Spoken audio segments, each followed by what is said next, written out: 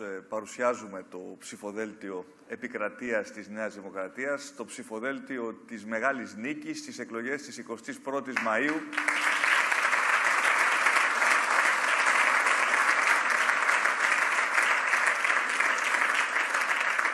Και πρέπει να σας πω ότι εξ αρχής, όταν ε, σκεφτόμουν τη σύνθεση του ψηφοδελτίου επικρατείας, ήθελα να κάνουμε κάτι διαφορετικό να επιβραβεύσω μέσα από τη συμμετοχή σε αυτό το ψηφοδέλτιο, το οποίο θυμίζω ιστορικά αποτελεί το προνόμιο της αποκλειστικής επιλογής των Προέδρων του κόμματος, γυναίκες και άντρες που έχουν ε, πραγματικά διακριθεί για τη δουλειά τους και όχι κατά ανάγκη πρόσωπα τα οποία να κομίζουν ε, στον, ε, στην πολιτική σκηνή υψηλά επίπεδα αναγνωρισιμότητας. Αναζητούσα, με άλλα λόγια, πολύ περισσότερο την αναγνώριση και λιγότερο την αναγνωρισιμότητα, ε, πολύ περισσότερο ε, το είναι από το θεαθήνε.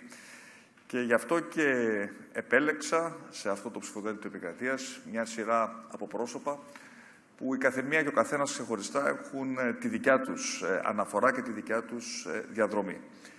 Ταυτίζονται με τομείς προτεραιότητας για την δικιά μας πολιτική, τομείς στους οποίους έχουμε αναδείξει και μέσα από το κυβερνητικό μας πρόγραμμα, όπως η οικονομία, η πολιτική προστασία, η υγεία, ε, η παιδεία, η κοινωνική πολιτική. Αλλά πιστεύω ότι ταυτόχρονα έχουν και κάτι ουσιαστικό να προσθέσουν στον ε, δημόσιο διάλογο μέσα από τις ε, δικές τους προσωπικές ιστορίες.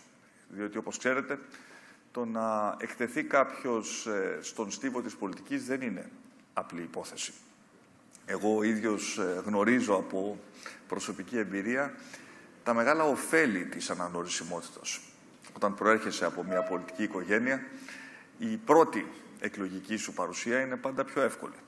Το ερώτημα είναι όμως πώς δίνουμε την δυνατότητα αυτή τη στιγμή σε ανθρώπους που δεν έχουν αυτό το πλεονέκτημα να δοκιμαστούν στην πολιτική, να εκτεθούν ε, στην ε, θα έλεγα, στην δύσκολη αυτή διαδικασία του πολιτικού διαλόγου και τελικά για εκείνο τον αριθμό των ε, ε, υποψηφίων που θα εκλεγούν στο ψηφοδέλτιο επικρατείας να μπορέσουν να εκπροσωπήσουν και επάξια την παράταξη στη Βουλή, κομίζοντας κάτι καινούριο. Με άλλα λόγια, μια ευκαιρία να μπουν στο ε, Κοινοβούλιο που πιθανώς μέσα από τη διαδικασία του Σταυρού να μην την είχαν.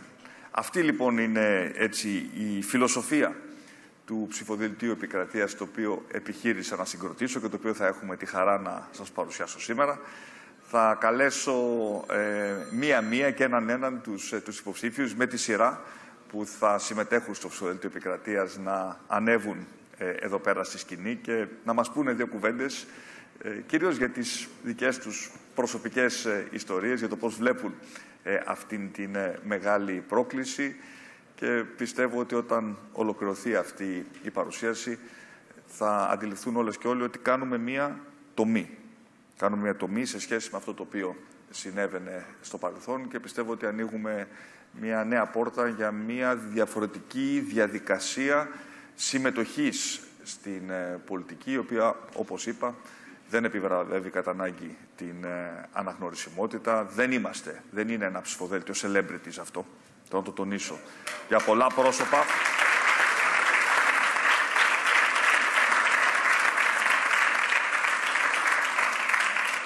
Σχεδόν για όλους θα πρέπει να τους γκουγκλάρετε για να αναζητήσουν.